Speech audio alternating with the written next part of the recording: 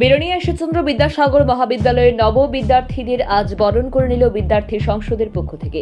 চন্দনের ফোঁটা ও মোমেন্টু হাতে তুলে দিয়ে নবীন বরণ অনুষ্ঠানের মধ্য দিয়ে ঈশ্বরচন্দ্র বিদ্যাসাগর মহাবিদ্যালয়ের নব বিদ্যার্থীদের বরণ করে নেওয়া হয়। আজকের নবীন বরণ অনুষ্ঠানটি আয়োজিত হয় বিলোনিয়া ঈশ্বরচন্দ্র বিদ্যাসাগর মহাবিদ্যালয়ের প্রাঙ্গণে। আজ সকাল নয়টা থেকে শুরু হয় নবীনদের বরণ কর্মসূচির অনুষ্ঠান। প্রথমে নব বিদ্যার্থীদের কপালে চন্দন চর্চিত করে হাতে মোমেন্টো তুলে দিয়ে মিষ্টিমুখ করিয়ে বরণ করে নেওয়া হয় বিদ্যার্থী সংসদের পক্ষ থেকে। এরপর বারোটা নাগাদ নবীন বরণ অনুষ্ঠানের সূচনা হয় জাতীয় সংগীত পরিবেশন, প্রদীপ প্রচলন ও সরস্বতী বন্দনার মধ্য দিয়ে। প্রদীপ প্রচলন করেন রাজ্যের মাননীয় মন্ত্রী টিঙ্কু রায়।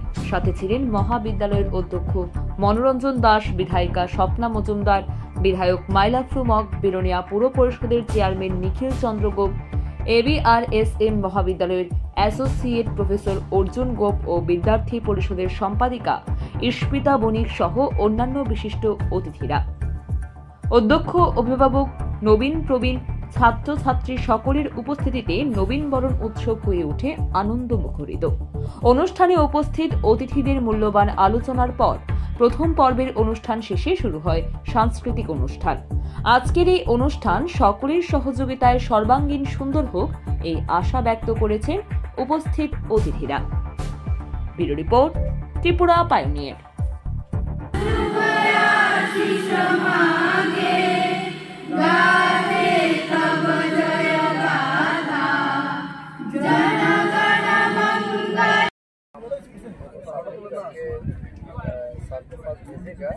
Shrimati Swapna মজুমদারকে বরণ করে নিল মহাবিদ্যালয়ের ছাত্রীরা। সভাপতি A B R S L Tripura. সম্মানিত অতিথি।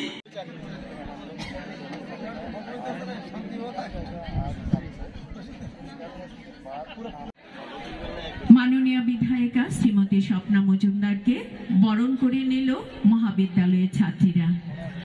সবাইকে নমস্কার এবং প্রলঙ্কা আজ আপনারা আমাকে ডেকেছেন এখানে এই নবীনবরণ অনুষ্ঠানে।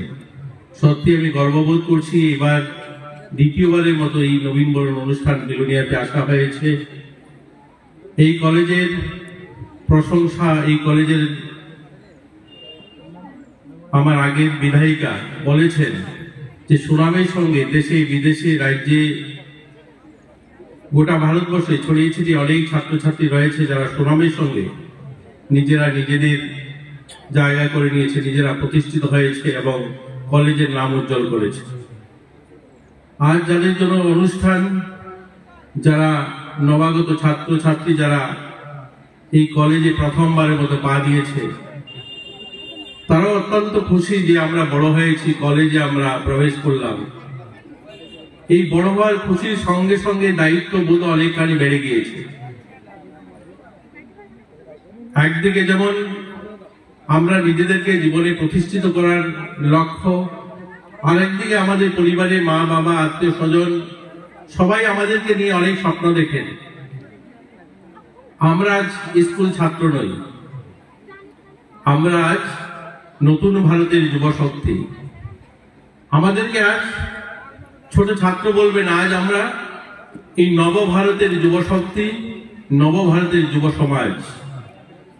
আমরা এই পরিবর্তিত ভারতের, আমার আগে বক্তা বলেছেন যে আমরা আজ পরিবর্তিত ভারতের যুব শক্তি যুব সমাজ যে ভারত অনেক আগে, একশো বছর আগে কবি লিখেছিলেন, ভারত আবার জগৎসভায় শ্রেষ্ঠ আসন লবে।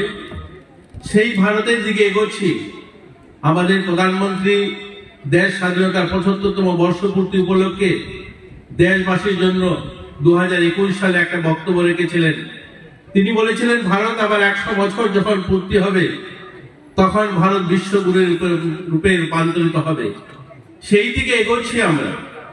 কিছুদিন আগেই আমরা দেখেছি জি টোয়েন্টির সফলতম সভাপতিত্ব ভারত করেছে।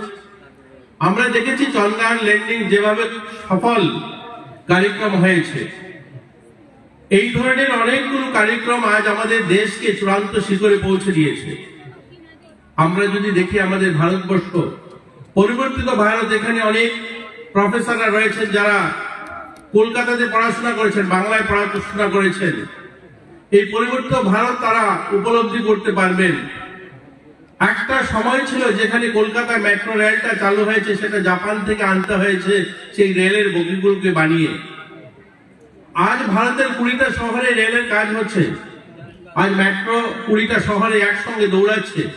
সেই মেট্রো আর জাপান থেকে আসতে হয় আজ ভারতের মাটিতে তৈরি হচ্ছে। সেটা সম্ভব হয়েছে এখানে যারা বসে আছে, আমরা যুবক তাদের শক্তিতে। আজ যদি আমরা দেখি আমাদের যে অমৃতকাল, অর্থাৎ এই পঁচিশ বছর প্রধানমন্ত্রী যে একশো বছর পূর্তির কথা বলছেন, এটা তখনই সম্ভব হবে এই যুব শক্তি যখন আমাদের সবাই মিলে যখন আমরা কাজ করব। কারণ আমাদের ভারতে বিশাল বড় চাহিদা রয়েছে, বিশাল বড় বাজার আমাদের। আমাদের নিজেদের প্রতিভা, আমাদের একটু আগেই আমার আগে বক্তা বলেছিলেন যে চৌত্রিশ বছর পর আমাদের শিক্ষানীতি বদলানো হয়েছে। এই শিক্ষানীতি বদলানো হয়েছে মূল কারণ হচ্ছে যে বিশাল বড় ভারত, যে ভারতের আমরা যুব ভারতের কথা বলি, আমরা ইয়ং ইন্ডিয়ার কথা বলি, যেখানে পঁয়ষট্টি শতাংশ যুবকরা রয়েছে, তাদের হাতে যদি কোনো কাজ না থাকে, তারা যদি নিজেদের পায়ে না দাঁড়াতে পারে, তারা যদি স্বাবলম্বী না হতে পারে, তারা যদি আত্মনির্ভর মানসিকতাতে যদি কাজ না করতে পারে, তাহলে আমরা ওই স্বপ্নের ভারত যে আমরা বৈভবশালী ভারত যে আমরা শক্তিশালী ভারতের কল্পনা করি সেটা সম্ভব নয় নিজেরা স্বনির্ভর হতে চাই, অনেকে বলেন যে পড়াশোনাটা করলাম প্রফেসর হওয়ার জন্য, ডাক্তার হওয়ার জন্য প্রফেসর আমি এই পড়াশোনাটা করে কি ওই আত্মনির্ভরের গল্প বলছেন যে ত্রিপুরাতে আগর, রাভার এগুলো তৈরি হয়, বেম্বু তৈরি হয়, এগুলোর এগুলো নিয়ে কাজ করব। আমাদের ভারতে অসংখ্য অগণিত উদাহরণ রয়েছে, যারা পড়াশোনা ভালো ভালো জায়গায় করেছে, কিন্তু তারা নিজেদেরকে যেমন প্রতিষ্ঠিত করেছে, পাশাপাশি কয়েক হাজার মানুষকেও সেই সুযোগ করে দিয়েছে তার জ্ঞান এবং তার যে শিক্ষা সেটাকে কাজে লাগিয়ে। এই ধরনের এক দুটা কথা বলে আমি আমার আলোচনা বিরাম নেব। কারণ এখানে অসংখ্য অগণিত অনেক লোকেরা বক্তব্য রেখেছেন। আর ছাত্রছাত্রীরা নবীনবরণ অনুষ্ঠানে সাংস্কৃতিক কার্যক্রম, নিজেদের পার্টিসিপেন্ট তার জন্যই আসে এবং তারা আমাদের মতো নেতা যারা তাদের বক্তব্য শোনার খুব একটা আগ্রহ থাকে না। তারপরেও আমরা বলছি, আমাদের কথাটা শুনতে হবে, যেহেতু তারা ছাত্র আমাদের সামনে বসছে। অজানা আতঙ্ক থেকে বেরোবো। সেই ভারত আজ দেখুন, একটা সময় আমাদের ভারতে যে সমস্ত মেডিসিন যেমন ধরুন ভ্যাকসিন যে আমাদের পোলিও ভ্যাকসিন উনিশশো পঞ্চাশ সালে আমেরিকাতে তৈরি হয়েছে, সেটা আমাদের এখানে উনিশশো পঁচাশি সালে এসেছে। এক সময় টিটেনাস ভ্যাকসিন উনিশশো চব্বিশ সালে তৈরি হয়েছে, আমাদের ভারতের মাটিতে উনিশশো আটাত্তর সালে এসেছে। আর আমরা কোভিডের সময় আমাদের ভারতে একশো চল্লিশ কোটি মানুষকে ভ্যাকসিন দিয়েছি, পাশাপাশি একশোটা দেশের মানুষকে আমরা ভ্যাকসিন দিতে পেরেছি। এটা আজ পরিবর্তিত ভারত, ওই বৈভবশালী ভারতের যে স্বপ্ন, সেদিকে এগোচ্ছে। আর সবাই মিলে যখন আমরা কাজ করব, কারণ আমাদের ভারতে বিশাল বড় চাহিদা রয়েছে, বিশাল বড় বাজার আমাদের। আমাদের নিজেদের প্রতিভা, আমাদের একটু আগেই আমার আগের বক্তা বলেছিলেন যে চৌত্রিশ বছর পর আমাদের শিক্ষানীতি বদলানো হয়েছে। এই শিক্ষানীতি বদলানো হয়েছে এর মূল কারণ হচ্ছে যে বিশাল বড় ভারত, যে ভারতের আমরা যুব ভারতের কথা বলি, আমরা ইয়ং ইন্ডিয়ার কথা বলি, যেখানে পঁয়ষট্টি শতাংশ যুবকরা রয়েছে, তাদের হাতে যদি কোনো কাজ না থাকে, তারা যদি নিজেদের পায়ে না দাঁড়াতে পারে, তারা যদি স্বাবলম্বী না হতে পারে, তারা যদি আত্মনির্ভর মানসিকতাতে যদি কাজ না করতে পারে, তাহলে আমরা ওই স্বপ্নের ভারত, যে আমরা বৈভবশালী ভারত যে আমরা শক্তিশালী ভারতের কল্পনা করি সেটা সম্ভব নয়। এর জন্য আজ দেখবেন আমাদের ভারতের ছেলেমেয়েরা পড়াশোনার সঙ্গে সঙ্গে আমরা যেন নিজেরা কিছু করতে পারি, আমাদের প্রাকৃতিক সম্পদকে কাজে লাগিয়ে আমরা যেমন দেশকে স্বনির্ভর করব, আত্মনির্ভর করব, তেমনি আমরা আমাদেরকেও আত্মনির্ভর করার জন্য আমরা কাজ করব।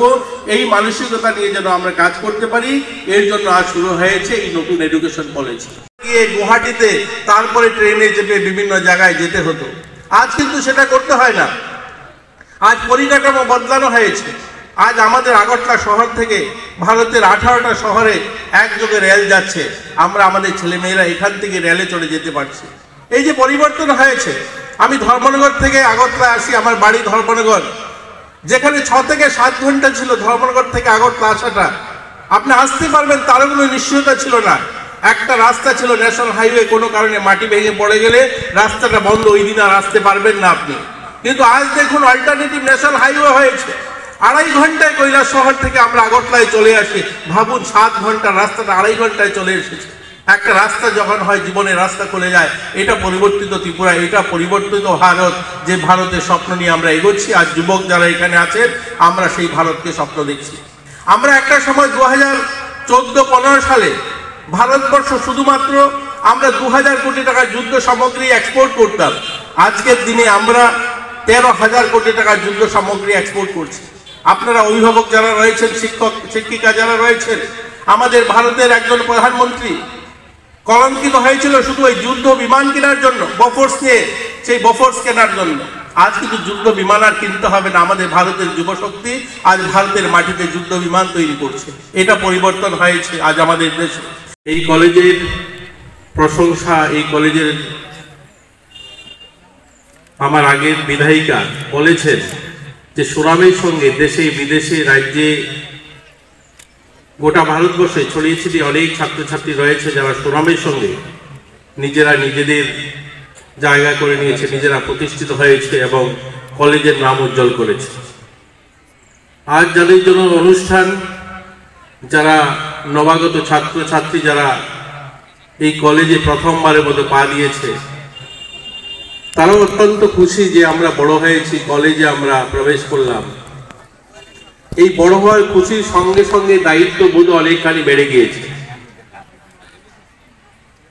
একদিকে যেমন আমরা নিজেদেরকে জীবনে প্রতিষ্ঠিত করার লক্ষ্য, আরেকদিকে আমাদের পরিবারের মা বাবা আত্মীয় স্বজন সবাই আমাদেরকে নিয়ে অনেক স্বপ্ন দেখেন। আমরা আজ স্কুল ছাত্র নই। আমরা আজ নতুন ভারতের যুব শক্তি। আমাদেরকে আজ ছোট ছাত্র বলবে না আজ আমরা এই নবভারতের যুব শক্তি নবভারতের যুব সমাজ। আমরা এই পরিবর্তিত ভারতের, আমার আগের বক্তা বলেছেন যে আমরা আজ পরিবর্তিত ভারতের যুব শক্তি, যুব সমাজ। যে ভারত অনেক আগে, একশো বছর আগে কবি লিখেছিলেন, ভারত আবার জগৎ সভায় শ্রেষ্ঠ আসন লবে। সেই ভারতের দিকে এগোচ্ছি। আমাদের প্রধানমন্ত্রী দেশ স্বাধীনতার পঁচাত্তরতম বর্ষপূর্তি উপলক্ষে দেশবাসীর জন্য দু হাজার একুশ সালে একটা বক্তব্য রেখেছিলেন। তিনি বলেছিলেন, ভারত আবার একশো বছর যখন পূর্তি হবে, তখন ভারত বিশ্বগুরুর রূপে রূপান্তরিত হবে। সেই দিকে এগোচ্ছি আমরা। কিছুদিন আগেই আমরা দেখেছি জি টোয়েন্টির সফলতম সভাপতিত্ব ভারত করেছে। আমরা দেখেছি চন্দ্রায়ন ল্যান্ডিং যেভাবে সফল কার্যক্রম হয়েছে। এই ধরনের অনেকগুলো কার্যক্রম আজ আমাদের দেশকে চূড়ান্ত শিখরে পৌঁছে দিয়েছে। আমরা যদি দেখি আমাদের ভারতবর্ষ, পরিবর্তিত ভারত, এখানে অনেক প্রফেসররা রয়েছেন যারা কলকাতাতে পড়াশোনা করেছেন, বাংলায় পড়াশোনা করেছেন। এই পরিবর্তিত ভারত তারা উপলব্ধি করতে পারবেন। একটা সময় ছিল যেখানে কলকাতায় মেট্রো রেলটা চালু হয়েছে, সেটা জাপান থেকে আনতে হয়েছে সেই রেলের বগিগুলোকে বানিয়ে।